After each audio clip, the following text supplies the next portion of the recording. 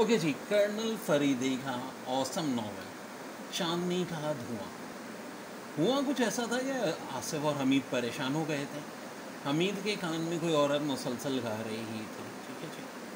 और वो आवाज़ जेबा को भी सुनाई दी, आसिफ को भी सुनाई दी। और वो लोग जल्दी से भागने में एक दूसरे से टकरा तक गए थे। और आसिफ और जेबा रायदारी में खड़े आँखें फाड़ कर हैरत से हमीद को देख रहे थे।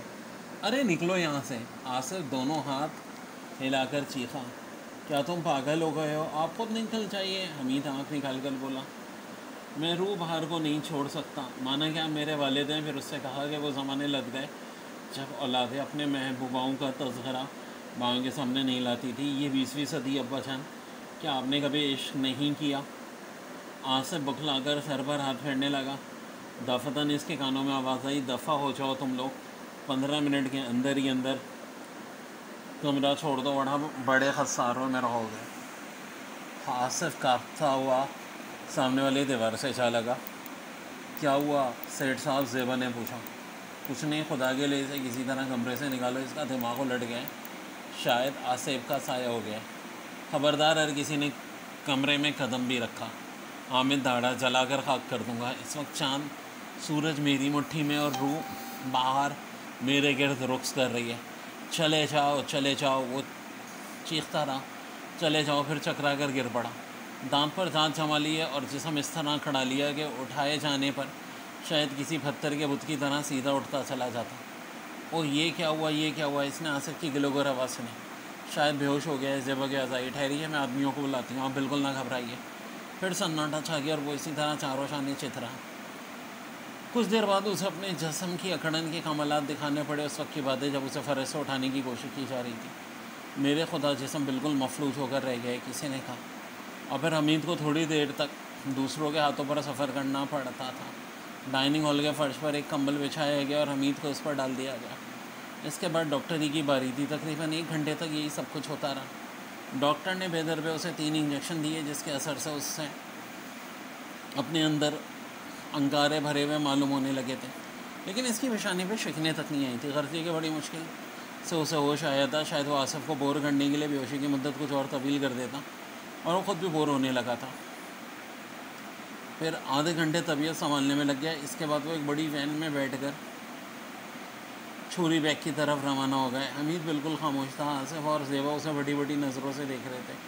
छोटी बैग का सफ़र ज़्यादा तवील था, आधे घंटे में वहाँ पहुँच गए।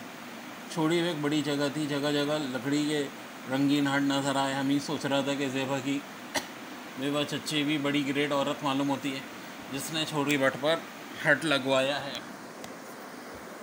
ये हट तीन आराम थे। कमरों पर मुश्तमिल था यहाँ हमीद को एक बूढ़ी औरत नज़र आई, जो इस उम्र में भी काफ़ी बची थी। खदो खाल चीख चीख कर कह रहे थे कि वो अपना हुक्म मनवाने की आती है।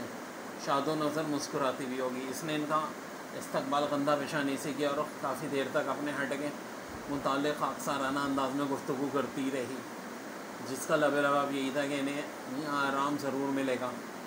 ख्वाहिश में दुनिया भर की भलाई क्यों ना हो? फिर हमीद की तरफ़ देख कर पूछा ही नहीं क्या हुआ है? क्या है बीमार है? वो आंटी जेबा का इन पर इख्तलाश घर के दौरे पड़ते हैं। शेष शेष आंटी ने चेहरे पर उदासी तारी करके कहा, बड़ा ख़तरनाक मर्ज है, खुदा महफूज रखे।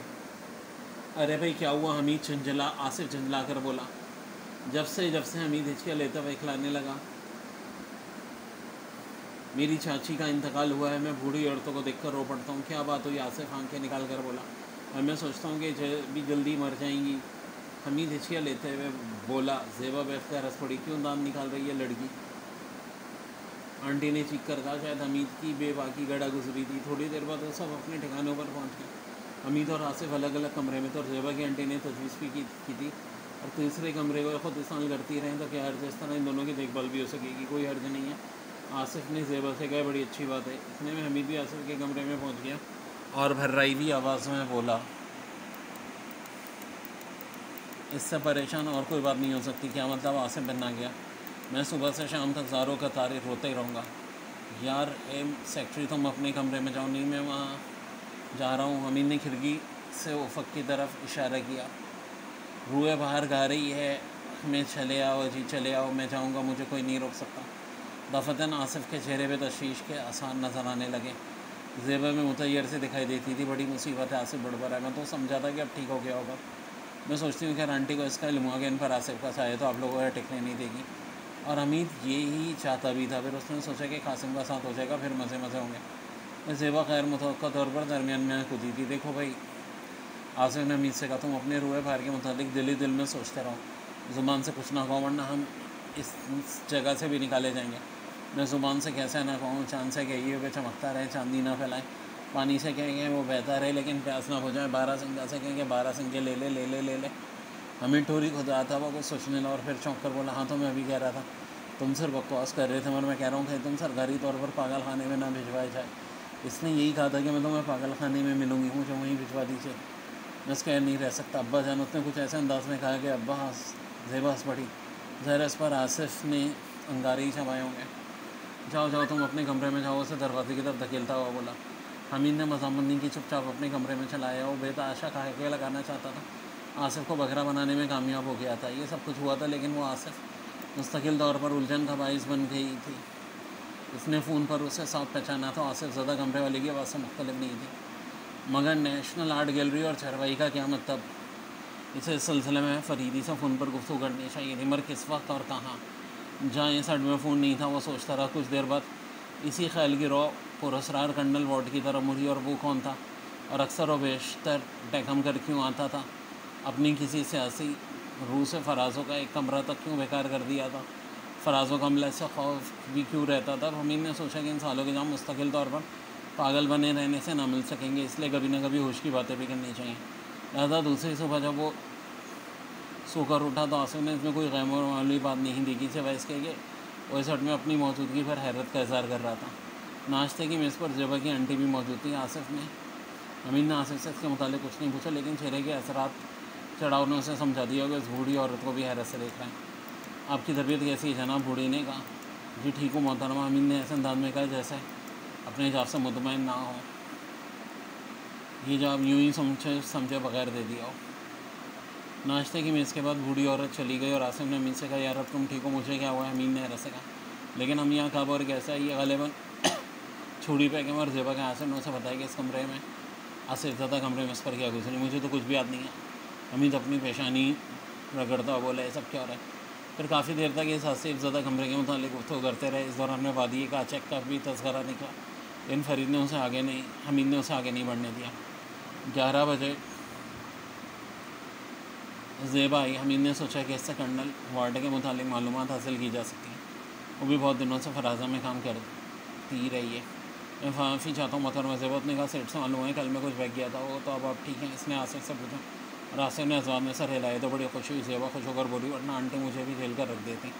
क्या कर्नल वार्ड आ गया अमीन ने पूछा, कर्नल वार्ड नहीं तो क्या है? हकीकत है कि इस कमरे की आसिफ ज़िंदगी में इसी का खुदा जाने मशहूर तो यार वो भी दारुल में रहता है कि आप उसे नहीं जानते, नहीं, मैंने पहली बार उसका नाम सुना क्यों, सेठ साहब? हाँ भाई आसिफ ने कहा और खिड़की से बाहर देखना लगा क्या फराजों वाले से खाइफ रहते हैं बहुत ज़्यादा।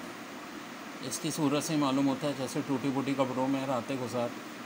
तो यहाँ अक्सर वो पहाड़ियों पर हड्डियाँ और खोपड़ियाँ तलाश करता फिरता है। फराजों का मैनेजर इसकी ज़बरदस्तियों के खिलाफ रिपोर्ट क्यों नहीं करता? अरे, इसकी तो रूह फना हो जाती है इससे। हालाँकि कर्नल की वजह से फराजों की शहरत भी नुकसान पहुँचा। टेकम करवा के बड़ी अजीब जगह है अमीत ने। तवील सांस लेकर बोला कभी कहीं लाश मिलती है, कभी फराजों के कमरे में रोए नाचती कभी वादी का चेक में धोए का मीनार होता धोए का मीनार जेबा बुड़ कर आए। ये बात मेरी समझ में नहीं आई। सुना है तुमने इसको टेकम गर्म में ऐसी हैरत अंगेज़ खबरों के लिए मशहूर है, जेबा मुस्कराई ऐसे यहाँ यहाँ अमूमन यहीं छोड़ी जाती हैं। तो तुम्हें इस पर यकीन नहीं है, मैं इस वक्त तक किसी चीज़ पर यकीन नहीं करता जब तक अपनी आँखों से ना देख। लूँ यकबे का आज से उछल पड़ा। अभी ने समय नज़रों से इसकी तरफ़ देखते हुए बल्कि चपलाई ये दिन तो यहाँ भी पीछा नहीं छोड़ा सिर्फ़ भराई उनमें कहने लगा। हंस रही है कह के लगा रही है सेठ साहब जेवर दांत पीछ कर बोली। खुदा के लिए सब कुछ ना फैलाओ। और नानटी, इसने जुमला पूरा नहीं किया, एक सूफी झटके के साथ खामोश रह गई। इसकी नज़रें खिड़की से बाहर थी और चेहरे से ज़ाहिर हो रहा था। क्या बात है, कर्नल वार्ड, जेबा की आवाज़ में अलग निकली। पार्ट